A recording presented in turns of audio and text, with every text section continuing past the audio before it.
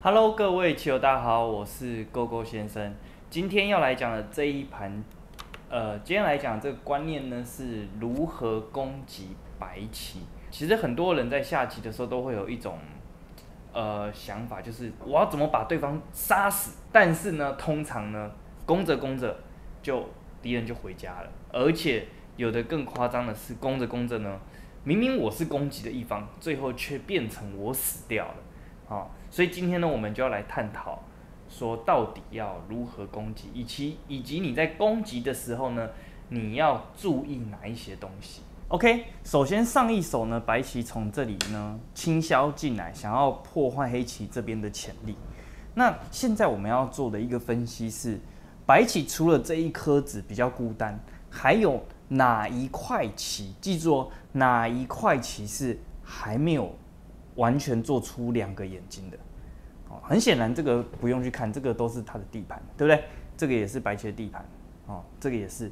但是这一块，诶，它怎么样？它只有这一个眼睛，对不对？这边有可能会有它的第二只眼睛，啊，所以接下来的攻击啊，可以缠绕住这两块白棋。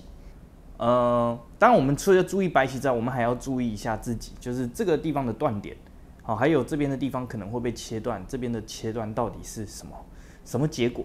好，其实你会看到，就是呃，目前影响都不大。好，比如说这种切断呢，哎，我们可以用什么？这种跳门的就把它给吃住了。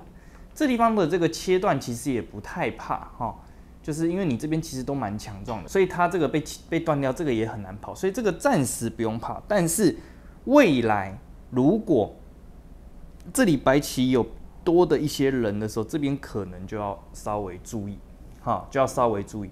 那这个地方的这个切断呢，好，其实我可以跟各位讲，如果今天你是要杀这一颗子的话，这种切断啊，这个，这个你反而这个对方这个切断反而还帮你嘛，好，有可能你就这个顺势一打过来，有没有？这个更危险，对不对？那这一颗呢，其实它呃是死是活就没那么重要了。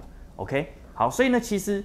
呃，以上呢，我们可以做了一些评估哈，就是自己的评自己的一些断点评估，跟对方的问题的评估，OK。所以呢，现在呢，就是我们要怎样子看，透过攻击，好，就是可以缠绕住这两块白棋，好。那呃，我们来看一下，我们先看一下实战，哈，实战呢是从这里攻击，OK。好，那这里攻击呢？呃，这一道防线其实黑棋是蛮顽强的，就是白棋这里要跑，已经有点难跑了。好，已经有点难跑，因为因为这个地方刚好就是呃，比如说黑棋这样子跳一个，然后这边都是黑棋的人，好，这个地方白棋很难跑，所以白棋呢有可能就是往这里实战就是往这里跑。好，但是接下来的黑棋这几手棋呢，呃，往往就是在攻击的时候要特别注意的地方。好，实战呢这个黑棋是走在这里。然后白棋粘上，好，然后呢，再来走这个，好，那这个走法比较像是说，嗯，我可能攻不到你了，不知道怎么攻了，所以我我选择不攻，我选择来回防，好，那这样子你看到白棋这一冲，好，实战就是白棋这样子下，然后呢再叫吃，OK，那黑棋粘上，然后白棋再拐，好，然后黑棋退，然后白棋再小尖。你会发现到一件事情，就是这种攻击到后来都会变成什么？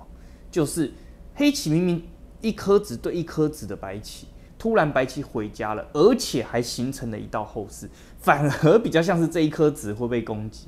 好，那到底是哪个地方出了问题呢？我们来看一下前面。好，到了这个地方的时候，其实这是一个非常经典的缠绕攻击手法。哈，这个时候黑棋啊，应该要怎么样？应该要先把棋子放在这里，好，先刺这个白棋，好，紧接着这个接下来这一冲啊，白棋这个就被就被切断了嘛，对不对？好，那可是如果这个地方白棋只是这样子粘的话，哎，那我们看哦，接下来黑棋只要往这里一跳，这个就怎么样？把白棋给门封住了，哦，把白棋给门封住，那这样子这个，呃。只应该说白棋是非常的惨啊，而且接下来白棋还要特别注意的是这一块有可能也会被杀。好，黑棋将来这里只要放这一颗子，这一块就没有活了。好，这一块就没有活了。那这样白棋同时要处理这个跟处理这个就会非常的难。然后黑棋呢，相对的就会轻松很多。什么意思呢？比如说今天这样子，白棋这样子冲断，他想要杀黑棋，啊，假设了哈，但是黑棋基本上只要啊，比如说我这样贴回来，好，或者或者我也可以这样叫吃啊，好，都可以，这样叫吃完再粘上。好，那只要我黑棋这一块，好，应该不是讲这一块，是这一颗子，好，因为这一颗子是关系着他们会不会联络，对不对？只要这一颗子不死掉。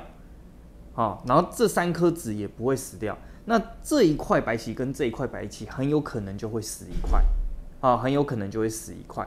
OK，那我们再来看另外一个，另外一个是这样子冲，白棋黑棋挡，白棋再断。好，那这个时候白棋啊，呃，这个时候黑棋啊，这边接下来就会怎么样？会被这样叫吃嘛？因为这里有白棋的人在等，所以呢，这个地方黑棋呢，诶，基本上呢要补这边的断点。但是这个时候有一个很高效率的补法，哦，不是这样子粘，这样子粘的话，只有对它有影响。这时候其实可以往这里藏，哇，这个藏威力极极大。为什么？因为白棋如果往这里跑，现就是黑棋往这里藏，这个白棋是冲不掉，没办法冲断黑棋，有没有？他要冲黑棋挡住，这个地方没有断点。然后呢，接着他可能只好往这边跑。好，假设。我们算他跑回家，好不好？算他跑回家哦。我们这边呢，突然有点脑残哈，就是让他回家，好，让他这样子连回家。好，但是你要知道一件事情，当你这里往这里藏的时候，不是只有在攻击他，你还有在攻击这一块白棋，而你只要把棋子放在这里，这块白棋也就死翘翘了。OK，好，所以这个地方啊。我们看前面，你在攻击敌人的时候呢，有一些很重要，有几点很重要要注意的事情。第一个就是，呃，先注意自己有没有毛病，好，比如说像这个地方的断点，好，这边的断点到底是什么？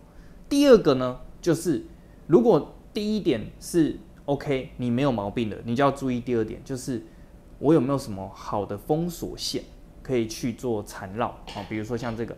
刺完之后呢，这个就是一个很好的封锁线，有没有？这个就飞的封锁线跟跳的封锁线，然后这个跳呢旁边又有一个带尖，所以这个地方冲的时候呢，你最多就只是一个断点，而不是像这样子两个断点。OK，好，所以呢你要去去注意到，以这盘棋来讲，你要去注意到这两点，好，然后呢再来就是伺机而动的看能不能缠绕到这一块。OK。那接着呢？如果这个时候白棋选择往这里走，那其实黑棋很简单，黑棋就直接这样走就可以了，你就把这一个吃掉就够了，好就够了。因为呃这地方被被白棋破一点点是没关系的，因为白棋这一颗子已经送死进来了，所以这个时候你要知道，我们在攻击的时候不是要全部杀掉敌人，你只要有获利就可以了。啊，当然你还要，当然你也是可以去看一下你的全盘到底够还是不够了。如果你的全盘地盘不够的话，那你可能还是要想办法去做更多的拼命哦。但是如果你的地盘已经够了，诶，有获利就可以了。OK，好，好，那最后呢，再跟大家讲一下，其实这个地方白棋要怎么跑？哦，白棋不能用跳的，白棋要考虑到黑棋的封锁线，所以这个时候呢。白棋应该要往这里尖，因为尖的话是可以最快速的往这边联络的，啊，可以最快速的往这边联络。那黑棋呢，它也要去想办法看，呃，有没有什么好的方法可以进行这个缠绕攻击，好，比如说这个时候，啊，就是比如说我在用跳的。这样子，但是这个可能还是稍微勉强了，好，因为这个挡不住，这个可能只能退。那这样子，这个白棋这样子一冲完，然后可能在这一虎口，嗯，感觉上不是那么的容易，好，黑棋不是那么的容易，OK。所以这个地方，呃，我们再继续倒带，好，当下到。这边的时候，刚刚我们是黑棋实战走这个阵，对不对？这个时候黑棋啊，有更好的一个走法。好，我认为这个地方呢是要往这里走。好，在这个地方攻击，把这一道外势盖起来，然后再伺机而动，看这个点。好，假设今天白棋哎就是这样子跑，啊，我们就搬。啊，他跑，好，他他假设他这样跑，OK，好，那我们就这样子再跑，好，我们就再退，对吧？我们就再退，哎，然后呢，最后呢，可能他我们算他跑回家了，好不好？嗯，我们算他这样子跑回家，好不？好，好这样他他已经跑回家了，但是这个时候呢，哎，有没有这个点就出现了？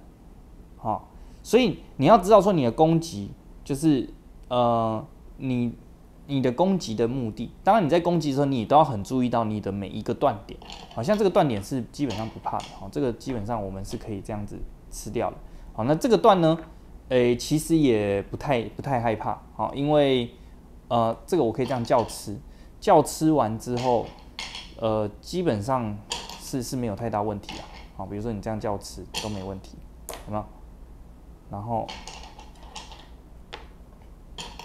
这样子，好，就是你只要先注意好你的断点啊，你的断点没有问题，那你再去看你的封锁线或者是你的外势能不能造成两块的影响，OK。那出发点都是往这个地方，哦，OK OK，那不知道你这样子学会了吗？哦，如果说你常常在攻击的时候呢，也没有一个系统化，不晓得要怎么样子去训练的话呢，呃，其实我蛮推荐你可以看影片下方的这个连接，哈，十集到三段的这个免费影片，那这里面呢会揭露我自己呢在过去以及后来呢我给学员呃训练的方法。OK，那这个方法呢？呃，我把它分成了四个步骤。基本上，你按照这四个步骤有条理的去训练的话，并且你融会贯通里面的内容的话，呃，我认为基本上要升段是不难的。